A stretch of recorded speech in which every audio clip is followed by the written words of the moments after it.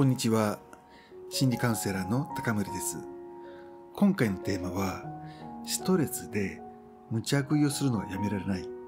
太るのは怖いし、克服したいということについてです。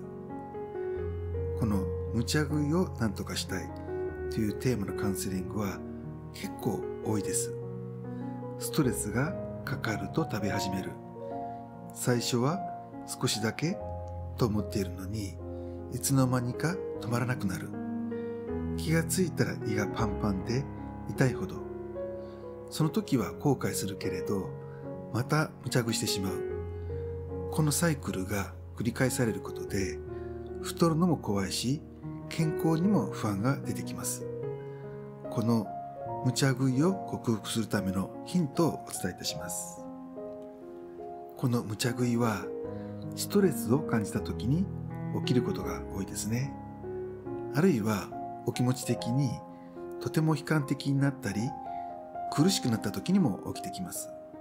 つまり無茶食いはストレスを和らげたり気持ちを楽にするのに役に立ってるんですね。ということは別の手段でストレスを和らげるあるいはストレス耐性を上げていくということが無茶食いなくすには必要というふうにわかります。無茶食いのきっかけになるのはストレス。であれば、そのストレスを上げることができれば、無茶食いも減っていきます。その方法は、ある意味シンプル。感じているストレスを言葉にすればいいのです。ただ、そう一筋縄ではいかないところがあります。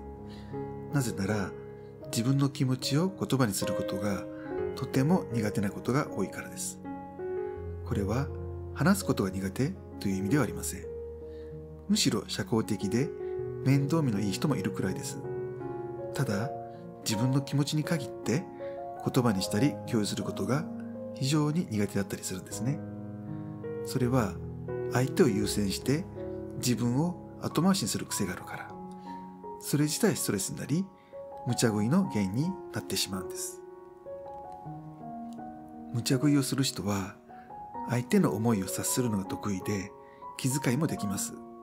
しかし、その逆はストレスになってしまいます。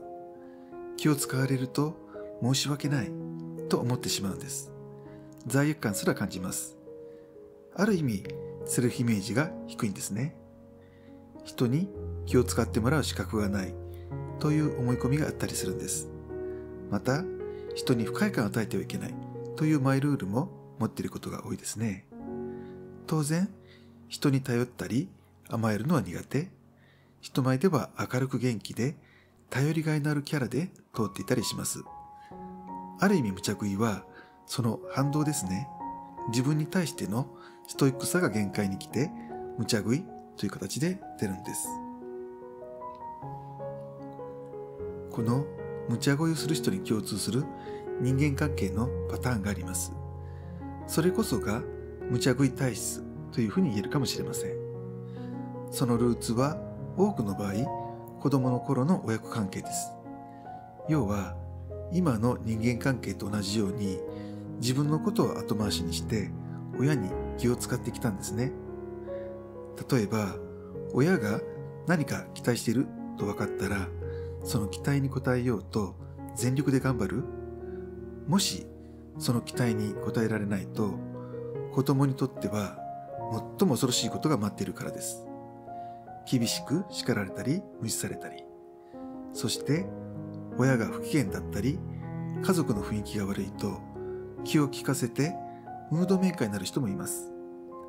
あるいは父親と母親のコミュニケーションが悪いと間を取り持ったり、一緒に四五十してるのに父親が母親に何か言うことがあると子供に向かって言いそれを母親に伝える。もちろん、その逆もある。父親と母親の緊張を和らげるクッションであり仲介役。あるいは、母親から父親の愚痴を聞いたり、父親から母の愚痴を聞いたり。子供なのに、親役、カウンセラー役と立場が逆転したりするんです。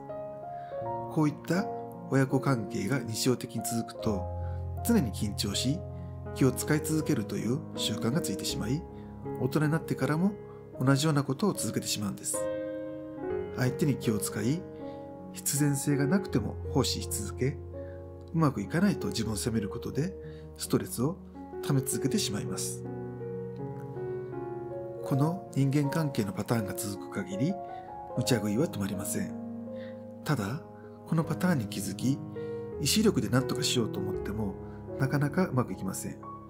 なぜならば、気分を害してはいけないという強烈な思いに支配されているからです。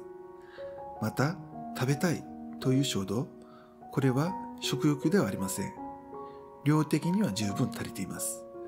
でも、満たされてない感じが半端なくあるんです。それは、一言で言うならば愛情。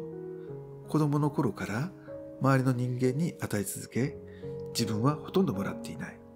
本当の愛情。期待に応えた時だけ褒めてもらえるよではなく、無条件の肯定。本当は誰よりも愛情を求めていながら、絶対もらえるわけがないと諦めている。この愛情欲求の矛先が食べ物に向かったのが無茶食いとも言えます。まさに愛情の死活問題です。だから理性で抑えることは到底無理な激しい衝動なんです。この子供の頃からの愛情飢餓を満たしていくことが大切です。しかし自分の愛情飢餓に気づいていることも稀です。なぜなら愛情を受け取る権利がないと思い込んでいるから。しかし、それに気づいて他人に愛情を求めようとしても、そのやり方がわかりません。今までの板についたやり方。自分を後回しにして、周りの人間に気を使うという子供時代の体験の繰り返しになりやすいです。このパターンを崩していくことが大切です。つまり、過剰な奉仕を少しずつ減らし、鳴らしていきます。例えば、人がいる時の条件反射的な笑顔を減らし、少し不愛想になってみるとか。でもそれは、無茶食いする人にとって、とてつもなく恐ろしいこと。子供時代に親に見捨てられた時と同じぐらいの衝撃があります。だから過剰サービスがやめられません。子供の頃の生き延びプログラムがどうしても最初のうちは発動してしまうんです。だから、この恐怖に少しずつ慣れ、免疫をつけていく必要があります。そうしないと、生き延びプログラムに乗っ取られ、疲弊し、ストレスを溜め込んでしまいます。無茶食いの原因を増やしてしまうんです。だから、見捨てる恐怖への免疫をつけつつ、人と適度に関わるスキルを練習することが大切です。そして、人前でも不機嫌だったり、不愛想だったり、だらしなかったりを出せるようにするのも助けになります。これが重要されること自体、甘えの体験です。安心して甘えられることを通して、子供時代に得られなかった無条件の肯定を体験することが大切です。それも一度や二度ではなく繰り返し何度でも。文字通り育て直しの体験だからです。このように適切な距離感を保つことで過剰サービスをしないことと甘えを通じて満たされること。子供時代と真逆の体験を重ねることが育ち直しをもたらし、セルフイメージの修復につながります。この段階に来れば人間関係で無理をしてストレスを溜めることも減り、一番欲しかった愛情も人から受け取れる体質に変わっていきます。ただ、甘えを通してのセルフイメージを高める取り組みがうまく進まないことがあります。自責とセルフイメージの低さはお互いに影響を与え合っています。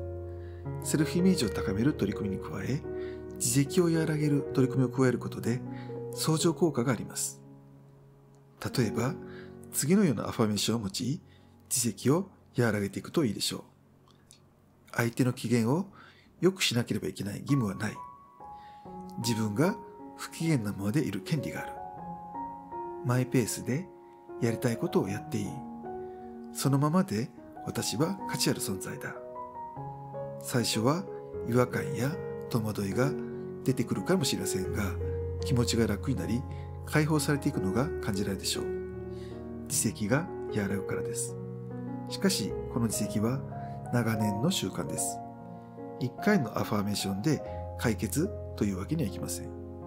でも、繰り返し和らげていくと、確実に自責は減り続けセルフイメージが修復されていきます。無茶食いの解消がより確実なものとなります。以上ご参考になれば幸いです。最後までお聴きいただきありがとうございました。